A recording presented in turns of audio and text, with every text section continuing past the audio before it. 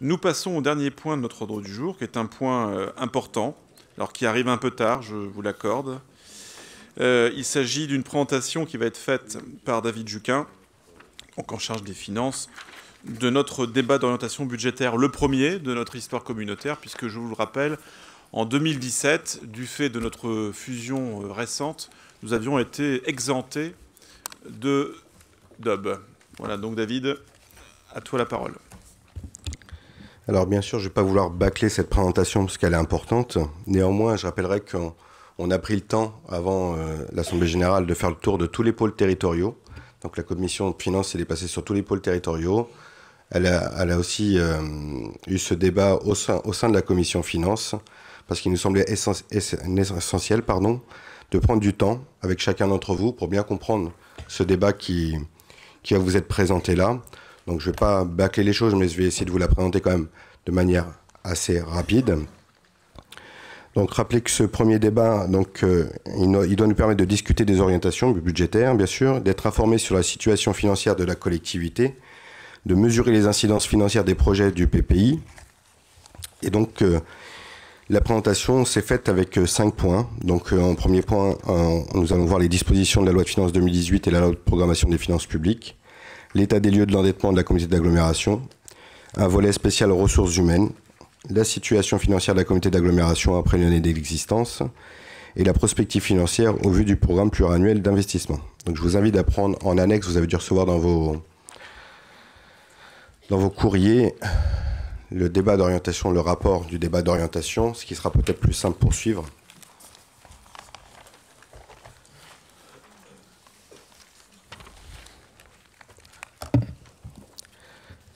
Donc, tout un cadrage a été fait sur la loi de programmation 2018-2022. Euh, je ne vais pas vous faire toute relecture de ça.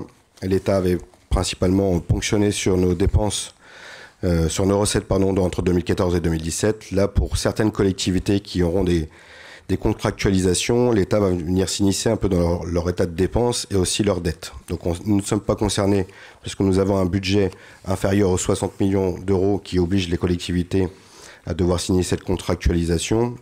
Nous avons aussi un petit peu balayé ce qui était prévu en termes d'endettement au niveau de la dette publique. Nous avons euh, parlé aussi de la réforme de la taxe d'habitation dans son ensemble, qui touchera aussi bien la communauté d'agglomération, mais les communes, avec ce principe de dégressivité sur les trois prochaines années, et avec des effets base ou effets taux que, voilà, qui à en prendre en considération, parce que les gens ne comprendront pas forcément. Donc tout un tas de tableaux vous a été présenté. nous avons abordé aussi le projet de loi de finances 2018 avec l'évolution de l'enveloppe de la DGF 2018 qui sera en, progression logiquement de 0,36%. L'impact des jours de carence dans la fonction publique qui devrait avoir un impact aussi sur, sur notre budget. L'automatisation du FCTVA qui sera applicable au 1er janvier 2019 mais qui fait partie de la PLF 2018 l'exonération de la cotisation minimum de CFE euh, pour les entreprises avec un chiffre d'affaires inférieur à 5 000 euros et l'État viendra compenser pour la communauté d'agglomération. La continuité de la dotation de soutien à l'investissement qui était normalement exceptionnelle en 2016, qui a été renouvelée en 2017 et qui prend une forme un peu plus pérenne maintenant. Donc euh, il y a tout un dispositif qui avait été présenté, notamment aussi sur la DETR la revalorisation forfaitaire des bases d'imposition, donc qui avant était sur euh, une inflation française anticipée, là elle sera sur une, inflation française constatée. Donc pour l'année 2018, elle est à 1,2%. Le FPIC qui sera maintenu à 1 milliard d'euros euh, pour cette année 2018. Donc voilà, toute cette première partie-là, je, je l'ai fait assez succinctement, mais je pense qu'on est rentré assez dans le détail. Je vais faire des points de pause si vous le souhaitez chapitre par chapitre. Est-ce qu'il y aura des questions sur cette partie-là? C'est très réglementaire, hein. mais bon, ça a un impact aussi sur les budgets de notre collectivité, donc c'est bien de, faire remonter ces choses-là. Donc euh, je me permets de continuer. Le chapitre 2, euh, c'était l'état des lieux de l'endettement de la communauté d'agglomération suite à la fusion. Donc il y a un gros travail qui a été fait par le service finance. Dedans, en première lecture, donc ce que nous avons, le capital restendu au 31-12-2017 de la communauté d'agglomération, c'est 55 millions d'euros. Je vous fais fi des, centaines de milliers, hein. c'est 55 millions d'euros. La répartition de la dette, 58%, euh, est sur le budget général pour 32 millions d'euros. Le deuxième poids, c'est 24%, c'est sur la partie assainissement. Rappelant qu'encore certaines communes euh, gèrent cette partie-là et que du coup l'année prochaine nous devrions être impactés sur cette partie-là aussi. Mais pour l'instant, le, capital restant dû, c'est 13 millions d'euros. 15% concerne l'économie, avec des ateliers reliés pour 4 millions 6, les bâtiments industriels pour 2 millions 100 et la zone d'activité pour 1 million 6. Donc le taux moyen de cette dette globale de 55 millions, budget général, budget annexe compris, est de 3,19%. La durée résiduelle est 14 ans et 8 mois. Pardon. La durée moyenne 8 ans et 3 mois. Le pourcentage de dette euh, en taux fixe est de 86%. En taux variable, nous sommes à 14%. Le nombre d'emprunts euh, représente 324 emprunts. C'est là où je tiens à souligner tout le travail qui a été fait par le service finance parce que nous étions sur 45 budgets précédemment. Donc il a fallu redétricoter et revoir aussi avec les différentes trésoreries pour tomber pile poil. Donc euh, un gros travail sur cette année 2017 qui nous permet d'avoir cette lecture aujourd'hui. Euh, cette dette, euh, donc, euh, on vous a rappelé les différents organismes bancaires chez, lesquels nous, avions contracté, donc principalement Caisse d'épargne pour 39% et Crédit Agricole pour 20%. Je vous fais fi des autres. Il y a l'agence de l'eau aussi, Seine-Normandie, mais plus sur des prêts à taux zéro. Est-ce que au sein de cette dette-là, nous avons des risques ou des taux ou des emprunts toxiques? Donc on, un travail été effectué aussi selon la charte de, bonne conduite Gisler. Donc on s'aperçoit que sur l'ensemble des emprunts, 94%, enfin presque 95% sont, classés 1A, ce qui est très bon pour notre collectivité. Et nous avions des petites bulles, donc euh, classées 1B, 2A, 3B, 4B. Donc les services ont analysé un petit peu les risques qui pouvaient être encourus. Donc pas de grosses difficultés sur celui qui était 4B, ni sur celui qui était 1B.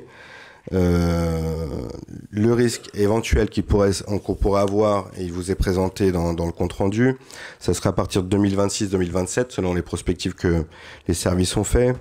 Euh, donc nous allons étudier dès 2018, voir comment euh, ne pas prendre ce risque-là et voir s'il y avait une porte de sortie pour la communauté d'agglomération. Il n'y a pas de, de lieu de se précipiter, mais il serait bon de se renseigner, voir si on pouvait un peu sécuriser cette partie-là. Mais globalement, nous restons quand même sur une dette très saine, je rappelle, de 95%, qui est euh, noté 1A. Une présentation a été faite aussi de l'évolution de la dette du budget général. Donc nous sommes sur une dette que budget général à hauteur de 32 millions d'euros, comme je l'ai annoncé tout à l'heure. On voit que la dette commencera euh, à descendre gentiment à partir de 2020 que notre cap euh, sur les, le capital et les intérêts annuels, nous aurons vraiment une, une, petite baisse à partir qui se sera, sera sentir pardon à partir de 2021. Voilà. Vous avez les risques des taux encourus. Bon, ça, je vous fais fi. C'est un comparatif par rapport aux autres strates. Donc, qui dit que la durée résiduelle, on est un an au-dessus euh, à strate comparable. Et que le taux moyen, on est à 3,32 sur l'année 2016. Hein, et sur une strate comparable, on est plutôt sur 2,82. Donc, en synthèse, la dette est globalement saine, avec peu d'emprunts arrivant à terme. Donc, pas de marge de manœuvre financière libérée à court terme, avec un fort pourcentage d'emprunts à taux fixe. L'aglo peut bénéficier des baisses de taux de marché financier et avec une durée résiduelle plus élevée que les autres collectivités. Voilà. Sur la dette, est-ce que vous avez des questions? Oui. Le fait de ce qu'on a voté ce soir de l'écoparc, est-ce que ça influe sur la dette? On va le voir un petit peu plus tard, si tu veux bien sur la dette pure. Donc je me permets de continuer. Pardon, excusez-moi.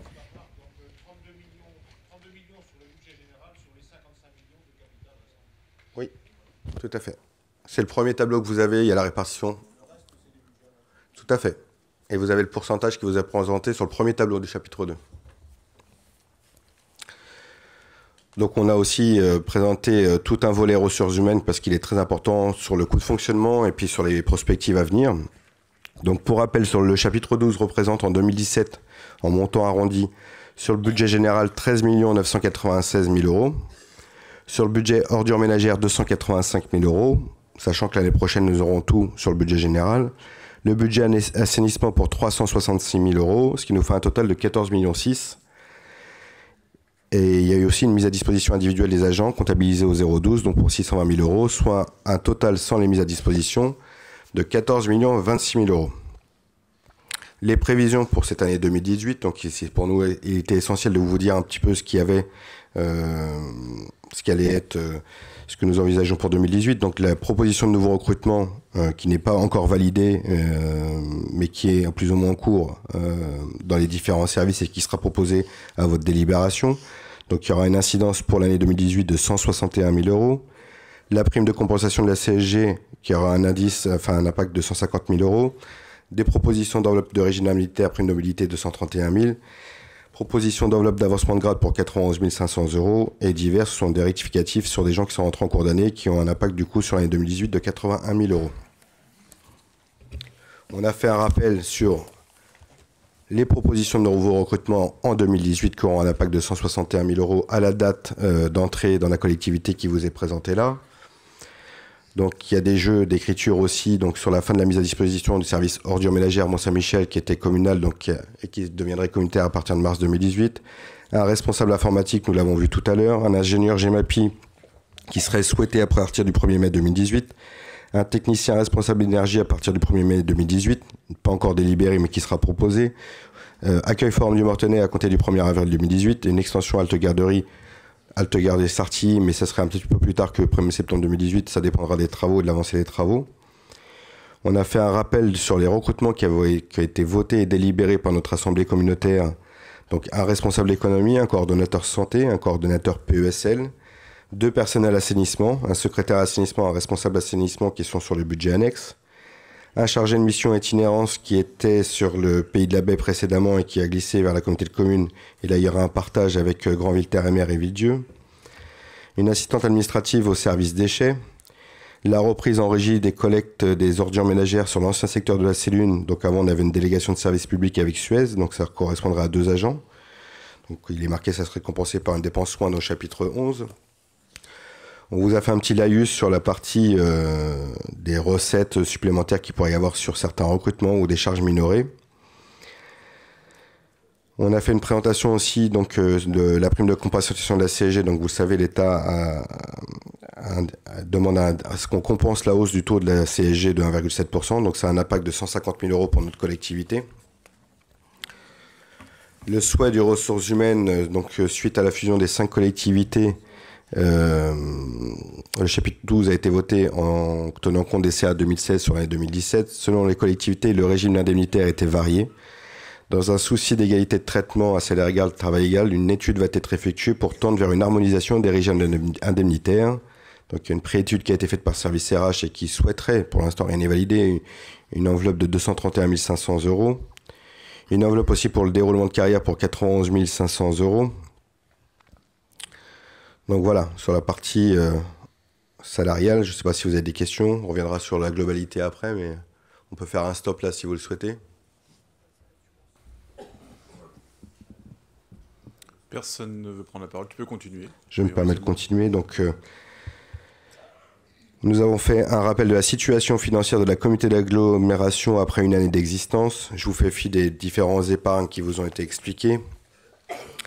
Juste revenir sur le commentaire qui est très explicite. Donc, conformément aux prévisions budgétaires, le budget de fonctionnement 2017 avoisine les 55 millions d'euros.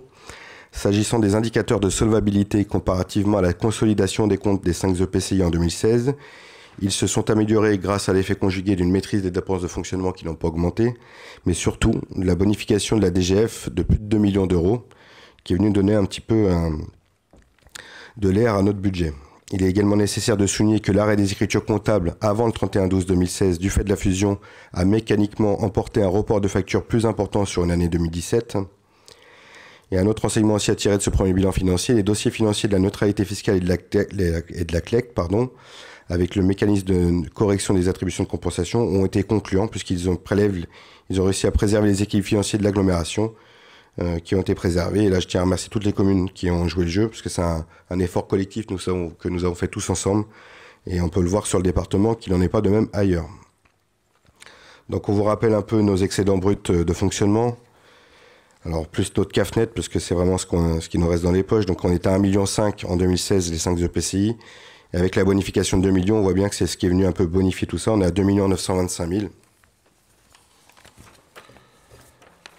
On a fait un petit laïus sur les dépenses d'investissement euh, Donc rappelant que sur, en 2016, les 5 EPCI avaient fait 11 millions d'euros d'investissement avec 7 millions de recettes d'investissement. Donc déjà à l'époque, 5 millions avaient été pris sur le matelas des anciennes EPCI. Sur l'année 2017, les investissements, nous n'avions engagé aucun nouvel investissement euh, en tant que comité d'agglomération, mais nous avions respecté les engagements des anciennes EPCI et donc ce qui avait été signé engagé. Donc nous sommes dans la même configuration, 11 millions d'euros d'investissement, on a un peu plus de 6 millions d'euros de, recettes d'investissement. Donc là, nous avons fait la même chose, il va vous être expliqué juste après, c'est 5 millions qui ont été pris sur le matelas. Donc on vous a fait un rappel des différents investissements euh, marquants qui ont été faits sur cette année 2017, notamment les salles de sport soit finies ou à commencer sur Sartilly Pontorson, le forum du Mortenay, 700 000 euros pour la gestion des déchets, 670 000 euros pour l'économie et l'accueil d'entreprise, 400 000 pour l'environnement, 560 000 pour le numérique et 400 000 pour les travaux de sécurisation du Mont-Saint-Michel. Donc un commentaire là-dessus. Donc globalement, le niveau des dépenses d'investissement est similaire à celui de 2016, que je vous ai précisé. Étant donné que l'avance remboursable du budget principal au budget annexe a permis de participer au financement des travaux d'investissement de ces derniers, comme pour 2016, le recours du fonds de roulement assure une très grande partie de financement des dépenses d'investissement. Donc, pour rappel, au 1er janvier 2016, il y avait un matelas de 13 millions d'euros. Fin 2016, nous avons terminé avec 7 millions d'euros, 7 millions 7. Donc, comité d'agglomération, création à 7 millions 7 un ponctionnement de 5 millions sur, le, sur cette année 2017. Il nous reste un fonds de roulement au 31-12-2017 de 2 641 000 euros. Ce qui a permis de limiter le recours à l'emprunt, parce qu'il a quand même fallu en faire pour, pour, pour assurer ces investissements. Il y avait eu 1 400 000 qui a été fait, 400 000 qui ont été faits sur 2016, 1 million 6 sur 2017, et de contenir le même niveau d'endettement de la collectivité. Donc rappel, nous avions un, endettement de 34 millions euh, au 1er janvier 2016, 33 millions à la création de la comité d'agglomération et on finit en 2017 à 32 millions 23 000 euros. Ce qu'il a été souhaité et ce qui a été débattu un peu dans les différents euh, pôles, c'est que dorénavant, le fonds de la collectivité est arrivé à un seuil minimal permettant ainsi de s'inscrire dans une gestion active de trésorerie. Pour rappel, cette gestion active nous permet de tenir à peu près 15 jours de, de fonctionnement. Ce sont les 2,6 millions. Cela signifie également que le recours à l'emprunt sera plus prégnant dans les années à venir pour assurer le financement du programme pluriannuel d'investissement. Me permets de continuer, on pourra ouvrir le débat juste après parce que c'est un peu dans la même euh, directive sur la prospective financière. Donc ça, c'est le rapport qui a été fait par le cabinet Sémaphore. C'est le cabinet qui nous accompagne dans le cadre du projet de territoire. Donc ne vous inquiétez pas si vous voyez des courbes qui descendent parce qu'ils ont pris en considération des évolutions euh, de dépenses à hauteur de 7% euh, sur la partie masse salariale si nous engageons euh, l'ensemble des personnes qui vous ont été présentées tout à l'heure, plus 3% en 2019, 2019, 20 et 21. Sur les dépenses de fonctionnement, on est resté sur des variations à 3%. Et sur la partie recettes, toute la méthodologie vous est présentée dans les premières pages et je vous ferai fi un petit peu de cette lecture-là. Juste rappeler que ne sont pris en considération euh, dans la présentation que le budget principal. Le, travail, il y a un gros travail à faire encore sur, le, sur les budgets annexes, on le sait. Et euh, ça n'a pas pu être réalisé sur cette année 2017 et du coup devrait être réalisé sur cette année 2018. Donc la prospective qui est faite là touche principalement notre budget principal. Donc je vous fais fi des différentes pages 57, 58, euh, qui reprend un peu la méthodologie en fait de cette prospective. En page 61, on voit que les dépenses de personnel sont prises en considération à hauteur de plus 7% et plus 3% les autres années. Les autres charges de gestion courantes plutôt sur plus 3%. Et donc, euh, il est rappelé le PPI qui avait été présenté et non modifié par la comité d'agglomération. Euh, vous savez, on avait fait un décalage, c'est-à-dire que tout ce qui était inscrit, on l'avait mis au BP 2017. Euh, toutes les autres choses avaient été décalées sur l'année 2018.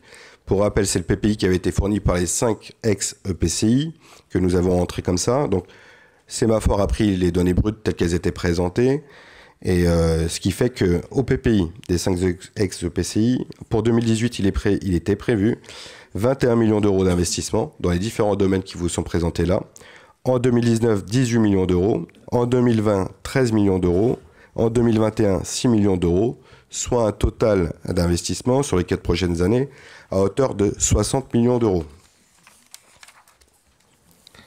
Ce qu'il est sorti de la prospective quand même, c'est que Au vu euh, des évolutions euh, des dépenses de fonctionnement et des évolutions de recettes, si nous continuons dans cette directive, nous risquons d'avoir un effet ciseau à un horizon 2021. Et donc l'idée, c'est de se dire qu'il faut corriger le plus tôt possible pour ne pas se retrouver sur cet effet ciseau et pour garder une capacité financière qui nous permette d'investir correctement. Les tableaux que vous voyez juste après, euh, donc vous voyez que les courbes descendaient. Si on respectait le PPI tel qu'il était inscrit aujourd'hui, que nous ne modifions pas, vous voyez qu'on irait vite à la banqueroute dès 2019. Donc il est urgent de faire quelque chose, non seulement sur le fonctionnement, mais aussi sur le PPI. Donc je vous fais fi du tableau juste après. On va, le on va passer, si vous le voulez bien, un petit peu plus loin. À la page 78.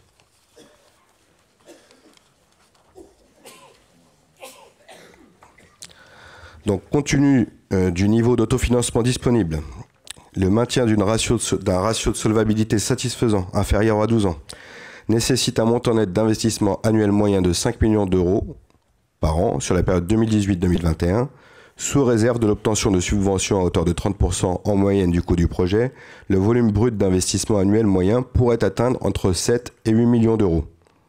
Donc en gros, si on fait euh, un petit calcul, 28 millions d'euros, je vous rappelle que le PPI, 60 millions d'inscrits sur la même période.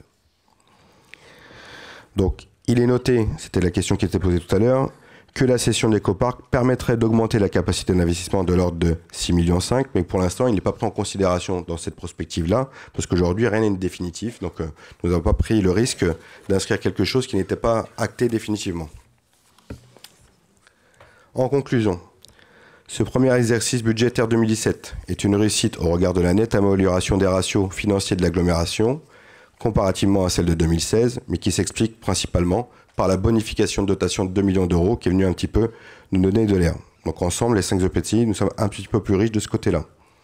La prospective financière réalisée par cabinet Sémaphore montre que la structure financière de la communauté n'est toutefois pas suffisante à ce jour pour supporter à l'horizon 2021 l'ensemble des projets d'investissement. C'est pourquoi ensemble, les communes et la communauté d'agglomération vont dorénavant avoir à définir les projets prioritaires pour le territoire. 2017 a été une année de stabilisation en 2018 sous une année de consolidation avec une réflexion indispensable autour des projets structurants à mener avec une attention particulière portée sur les dépenses de fonctionnement qui sont induites, l'optimisation des besoins, une définition réaliste des projets.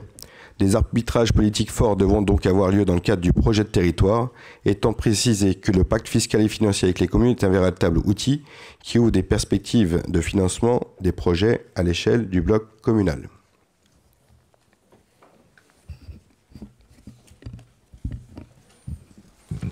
Merci beaucoup David pour cette présentation euh, dynamique.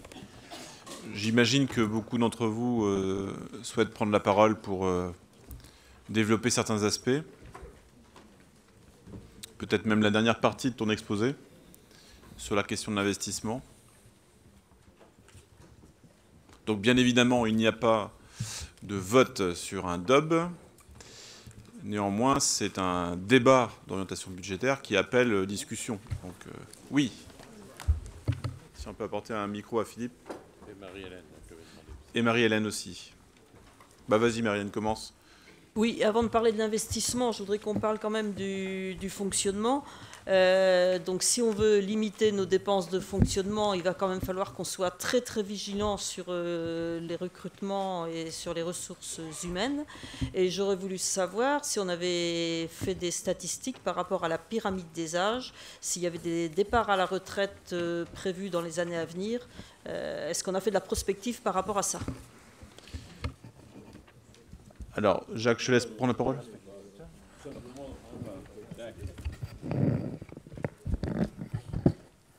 Non, on a, c'est pas fait tout simplement parce que je crois que les services ont eu beaucoup d'autres choses à faire que de, que de permettre de le faire. Hein. C'est évident que c'est à faire, mais je ne vais pas vous dire que c'est fait parce que c'est pas fait. Non, non, mais, comme euh, il y a un cabinet qui pour de bonnes raisons. non, non, euh, mais je ne savais pas si le cabinet avait travaillé là-dessus. Euh, non, pas du tout. Mais ça fait partie, bien, évidemment, des choses que toute collectivité aujourd'hui doit faire. la gestion programmée des, des ressources humaines, c'est une nécessité. Juste préciser, Monsieur le Président, que euh, lors, du débat d'orientation budgétaire, il n'est pas présenté là, mais on le sait, euh, surtout au niveau finance, qu'on n'a pas pu avoir le temps de travailler sur nos dépenses de fonctionnement, parce qu'on avait beaucoup de choses à mettre en place, etc. Mais c'est des vrais enjeux années. Logiquement, on devrait avoir des, des économies de structure. Il va falloir qu'on prenne le temps d'aller faire ces économies de structure. Oui, parce que sur le fonctionnement, comme le dit David, il y a, euh, effectivement, on voit le personnel, mais je pense qu'on a aussi certainement un certain nombre d'économies à réaliser sur le fonctionnement quotidien. Très certainement. Et, un des débats qui est, ressorti quand même, parce que je peux faire une petite synthèse aussi des, échanges qu'on a eus, c'est qu'on sent bien que cette communauté d'agglomération a un besoin de structuration au vu de la taille qu'elle représente aujourd'hui et au vu des, compétences qu'elle a, mais qu'il faut bien que nous prenions compte en tant qu'élus que cette structuration aussi vient peser sur notre capacité d'investissement. Donc à un moment donné, il va falloir trouver le curseur entre notre capacité d'investissement et la structuration de nos services. Et non pas faire que de la structuration de services, parce que derrière, on n'aura plus de marge de manœuvre. Et c'est pour ça qu'on a voulu absolument mettre un point sur la transversalité euh, des différents postes qui étaient plus ou moins en cours ou qui ont été faits. Parce que des fois, on est dans sa thématique et on ne fait pas forcément attention à ce qui se passe euh, sur l'ensemble des thématiques. Donc il fallait de la transversalité et c'est un point qu'on a voulu aborder pour que tous élus nous ayons conscience de tout ça. Et que s'il y a des efforts à faire, elles devront être collectives. Et puis un autre point aussi qui me semble important, c'est qu'il y a effectivement eu des recrutements, mais des recrutements qui sont devenus nécessaires par rapport à la restructuration de l'ensemble. Donc c'est pour ça aussi qu'on a, a demandé souvent, enfin moi j'ai souvent insisté pour que ce soit uniquement des chargés de mission, parce que j'estime qu'il y a un certain nombre d'activités qui doivent être menées sur un temps très bref pour les mises en place et qui ne sont pas des, des emplois pérennes. Enfin, je crois que c'est aussi euh, euh, et on a aussi eu euh, été dans l'obligation pour des raisons d'efficacité notamment financière de, de, prendre des agents en renfort. Philippe. Non, juste une, une, remarque quand même, parce que, bon, être trop prudent, enfin, l'excès de prudence peut entraîner aussi l'imprudence, puisque cette année, il y a eu pratiquement 10% de l'endettement qui a été autofinancé. Euh, dans une entreprise, euh, c'est enfin, euh, c'est pas supportable dans une entreprise. On ne peut pas. C'est normal d'avoir recours à, disons, au financement pour financer les investissements. ça fait 5 à peu près 5 millions, hein, si j'ai bien écouté, c'est 5 millions d'euros qui ont été financés, bon, compensés en partie par les 2 millions supplémentaires de DGF. En gros, c'est ça. Sur 55 millions d'euros de, de dette totale, ça fait à peu près 600, un bon 600 euros par habitant. Et là-dessus, et là-dessus, on en a autofinancé 10%. C'est une, une, très bonne remarque. Cela dit, c'est vrai que 2017 a été une année un peu d'observation. Une année de transition, mais de toute façon, euh, à moins de s'appeler Mathieu Millet qui a, qui a euh, disons, un, résultat à deux chiffres, mais la communauté d'agglo, ce n'est pas un résultat à deux chiffres, ça se doit d'équilibrer, mais on ne peut pas, de toute façon, autofinancer des investissements de cet ordre-là euh, au fil des années. C'est pas possible, il faut en avoir conscience de ça. C'est pour ça que je... dis que l'excès de prudence peut aussi entraîner à l'imprudence. Bon, c'était une année de transition, une année de démarrage. Il n'y a pas eu de folie de fête, on le constate, ah puisque euh, la situation est ce qu'elle est aujourd'hui. Ah. Mais de toute façon, elle ne pourra pas se renouveler comme ça dans les années qui viennent.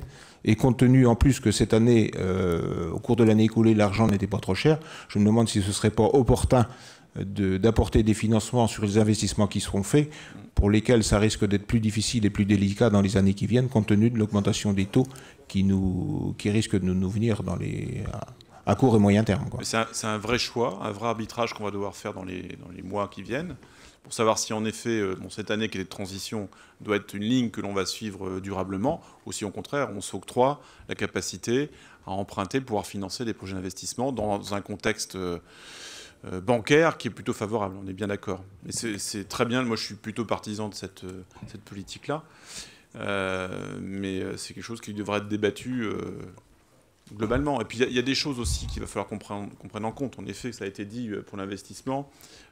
Si on prend la liste de l'ensemble des projets qui sont prêts à démarrer, on ne peut pas financer tout sur la première année. Donc il falloir qu'on trouve un système de manière collégiale et transparente pour évaluer euh, l'état d'avancement du projet et le déterminer comme prioritaire par rapport à un autre. Hein, je crois que c'est extrêmement important.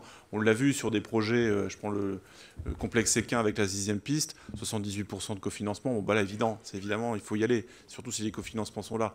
Donc il va falloir qu'on puisse évaluer chacun des projets d'investissement en fonction de sa maturité, des cofinancements qui vont avec, et puis euh, voilà, de, l'intérêt communautaire. Je pense que l'intérêt communautaire sera primordial. Et, du, et des recettes, le cas échéant. Juste de rajouter, David, sur la solvabilité de la communauté aussi, c'est que nous avons des ratios de solvabilité sur lesquels, à un moment donné, il faut éviter d'emprunter plus que ce qu'on a non plus, parce qu'après, on, rentre dans une spirale aussi. Parce que quand vous empruntez, bah, ça vient baisser votre CAF aussi.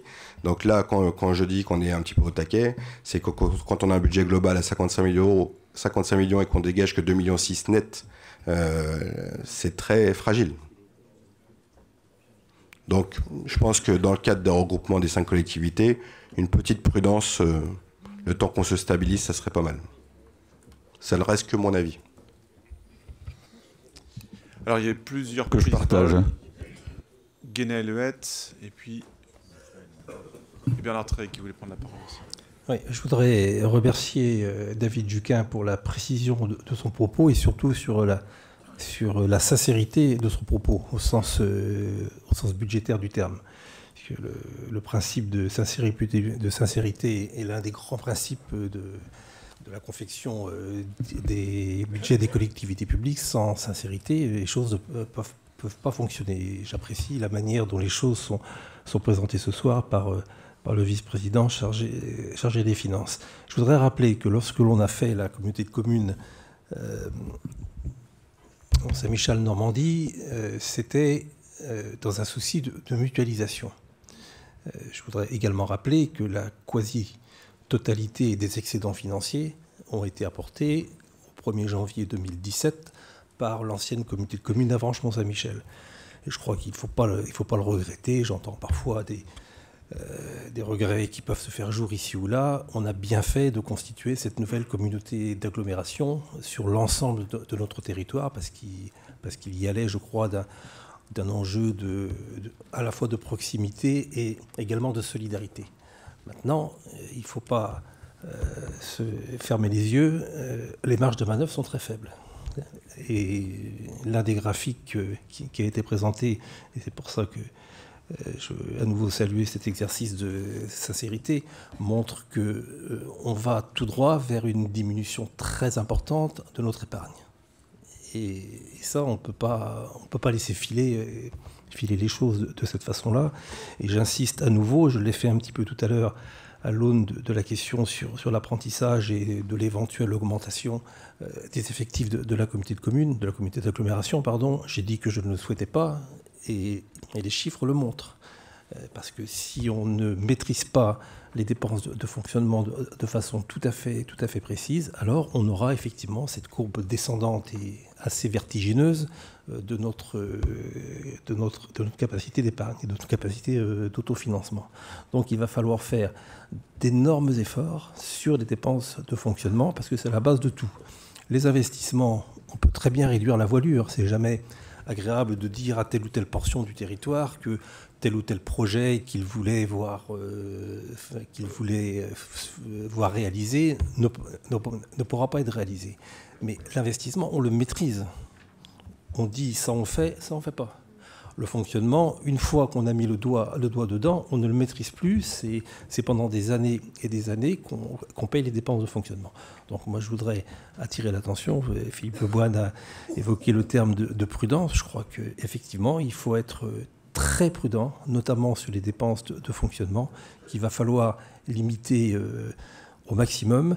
Et j'espère qu'il n'y aura pas de difficulté avec l'État sur la compensation euh, de la, de suppression de, la taxe d'habitation, parce que ce, ne serait pas la première fois que l'État, on a eu d'autres expériences, que l'État engage euh, des mesures de compensation financière et les arrête au bout de la première ou de la deuxième année.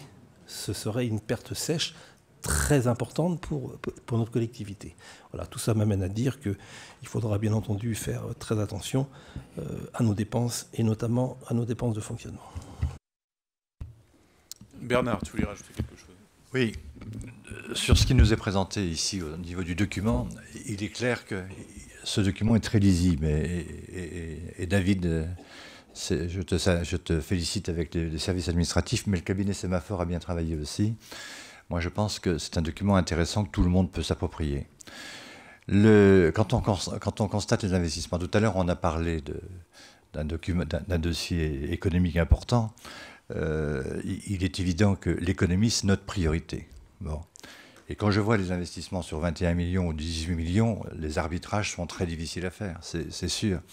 Or, il n'y a qu'un million six euh, en, investissement économique, alors que c'est notre priorité. Il n'y a que 0,4 l'année suivante ou 0,5 alors qu'on a des sites comme Feugerolles, comme Meudon, enfin toute cette zone économique qui sont à meubler. Peut-être aussi demain avec le projet que à Saint-Jean. Euh, donc, euh, je, moi, je m'interroge, et je suis concerné aussi en tant que collectivité, ancienne collectivité. Je m'interroge sur le fait s'il n'y a pas, parce que les investissements qu'on voit, ce sont des investissements pour un certain nombre de, structures euh, administratives ou autres, et qui ont un coût de fonctionnement important.